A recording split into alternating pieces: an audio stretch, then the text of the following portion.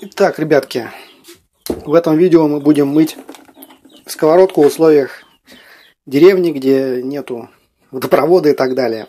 И понятно, что там мыть всякими фейрами это очень долго и муторно. Итак, мы уже как бы покушали нашу яичницу, вытерли масло хлебушком, и у нас как бы такая полугрязная сковородка. Далее мы что делаем? Ну, во-первых, мы ставим кипятиться воду. Нам нужно будет э, немного кипятка. И вот эту оставшуюся грязь с жиром мы просто вытираем бумажным полотенцем. Так, тут ручка отваливается. Так, сковородку пора выкидывать. Мы пока вытираем на сухую. Где-то что-то пригорело. Вот. Вытерли на сухую. Недостаточно, если еще, значит, другой салфеткой тоже вытираем. Вытираем, вытираем. Так. Вот масло здесь осталось на бумажной салфетке. Два раза вытерли. Теперь еще наливаем кипятка. И продолжаем вытирать еще одной салфеткой.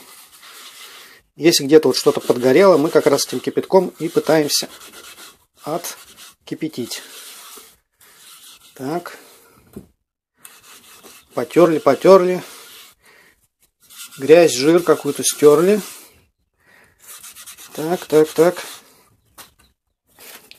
Главное менять полотенце. И, конечно, лучше не однослойные, а двухслойные на этот случай иметь.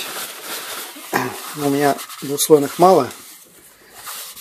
И нужно не очень много воды. Я вот много налил как-то. Полотенце мокнет от этого.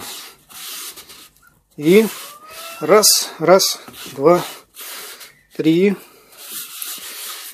Елочка гори. Протерли. Так. Ну и в принципе у нас вот сковородка, она чистая. Если недостаточно, повторяем процедуру с кипятком. Я люблю, чтобы было более чисто, поэтому я еще раз кипятка. Вот. Еще раз повторяем эту процедуру. Их, в принципе, вот нас вытерли, это на, этого достаточно для сковородки.